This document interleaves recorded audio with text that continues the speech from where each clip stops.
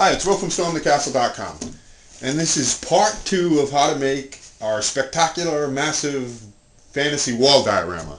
In part one we built the structure and we puttied it up and we're going to predominantly built. Now we're going to finish off this in this part and we'll have the, the complete structure all set and ready to go including the window, the hinges and everything so that we um, after that we can go on to actually doing the diorama inside.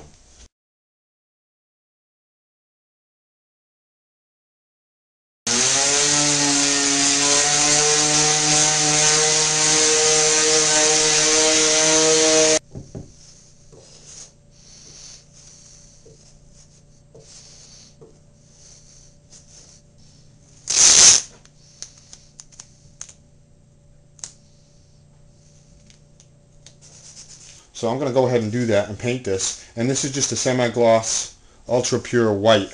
And it matches the molding uh, in the room that it's going to be in. It's the same paint and the same color as the molding, so it's going to fit in well with the scheme of the room. So I'm going to go ahead and paint that, and I don't need to show you the whole painting process, but you know, I, it should come out pretty good because I've sanded it well and I've puttied it all, and it should have a really nice, clean look to it. Okay, I'm mounting the hinges here. And this is the bottom of the unit as it will hang on the wall. So the hinges are on the bottom. And you'll see what I mean in a second here.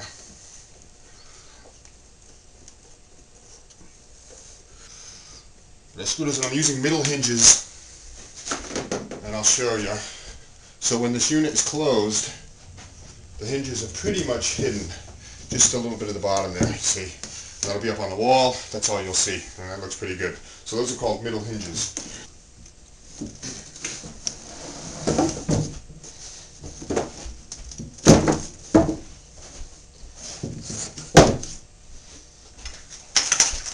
So you've got these two catches here.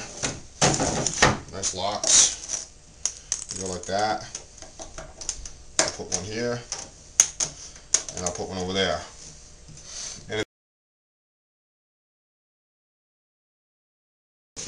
Okay, I've completed building the shadow box, and you've seen that. And now I'm going to be mounting it on the wall, and uh, I have my spot all picked out. And this is a very important part. When you're doing a shadow box like this, it's very heavy. Mine, right now, without any material in it, weighs 27 pounds. So you need to be real careful about how you're going to mount it on the wall. And I'm going to use uh, a mounting kit called Secure-T. It's something that uh, museums often use because it mounts uh, objects, usually pictures, or paintings to the wall in a secure way that keeps them locked tight and very strong. So uh, the, the, first thing you need to do is when you're doing something like this is to find the studs in your wall. Now I have a stud finder here and uh, well you, you, should understand how a stud finder works. You use it to um, find the studs within the wall. So I find a stud here and I found another stud here. So I'll be able to anchor, because the, the unit is so heavy, I'll be able to anchor my my uh, mounts right into the studs in the wall. It's very important. I don't want to just put it in the sheetrock because it's not as strong. So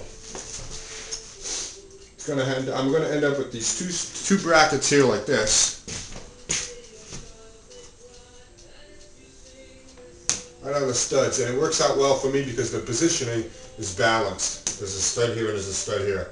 So I'll mount these on the wall like this and then I will put uh, a third one down here and then I will put the corresponding brackets on the back of the shadow box and then I'll be able to put that right on the wall there.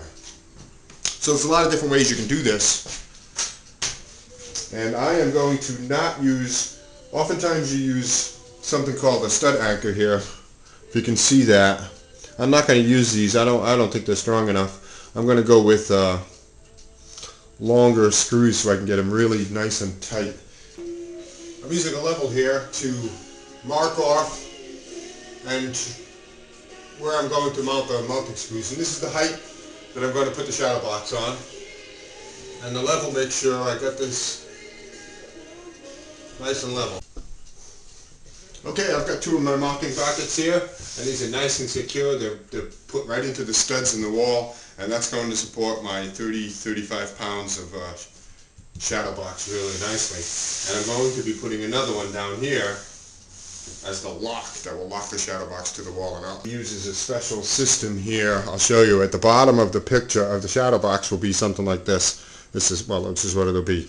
This goes through here and then use a little tool to turn this and then that locks the shadow box to the wall if you can see that.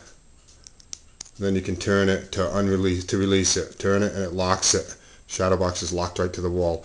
Um, museums use this kind of a technique for a lot of paintings and whatnot. It's called a um, Secure T mounting system.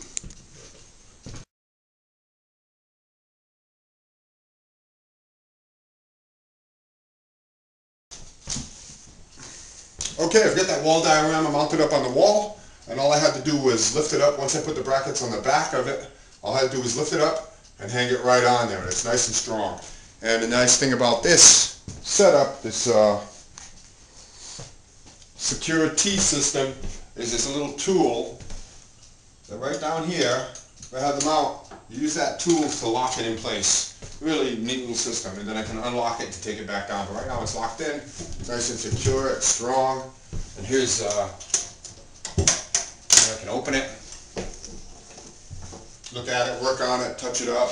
I could even, this is really actually pretty nice, I can actually just leave it here and work on it as is. It's at a good height for me.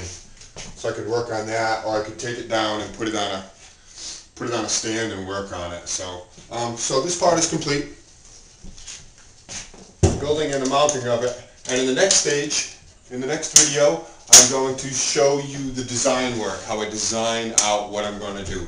And I'll get as much done in that as I can. So thanks for watching. Plenty more videos on my website at www.stormthecastle.com. And um, subscribe if you want to follow along to see how I'm progressing with this. I got some really great ideas. You're going to really like this diorama. This is going to be quite unique.